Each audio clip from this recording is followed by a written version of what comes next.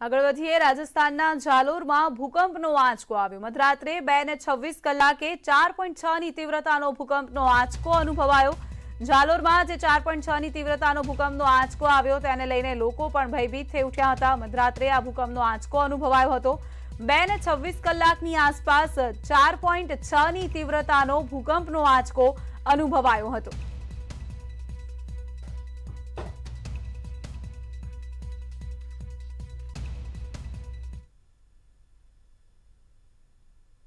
Давай.